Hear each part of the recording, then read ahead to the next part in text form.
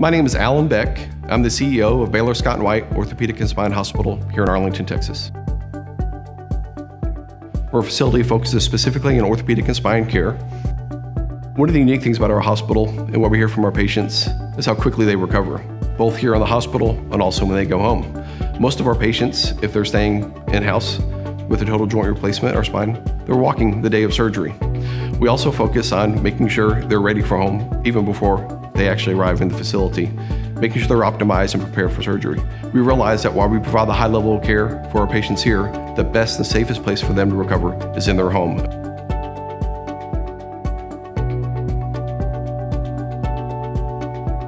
We're on the leading edge of technology here at Baylor Scott & White Orthopedic and Spine Hospital. We have great physicians and practitioners, but we want to add and enhance their skill level. The most recent technology is the ROSA technology and actually assist um, physician in surgery as they're actually performing the case themselves. More precise and precision cuts. Really excited about the technology and we're going to keep on advancing as technology is available. Safety for our patients is very important here at our facility, and we've actually been ahead of that since day one. We added UV rays into our air filtration system and actually increased the HEPA filtration requirements. In our operating rooms, we added additional units with additional UV and HEPA filtration specific to each operating room. Another unique thing about our hospitals, we do have an emergency department available 24-7. This emergency department focuses on orthopedic and spine and minor emergencies. We have orthopedic surgeons available, plus ER physicians in-house 24-7 to provide care. Pain management is very important.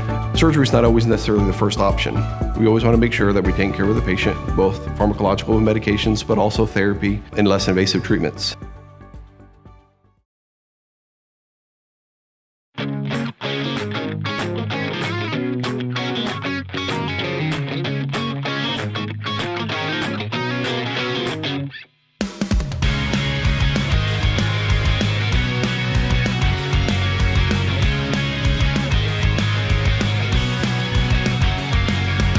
We've been involved with the lot for several years now, almost since its inception, and very excited about what the lot brings um, to the community, not just in the form of concerts, but all general activities and how it brings the community together. We've seen it growing over the last several years and excited about growing with it and growing this partnership.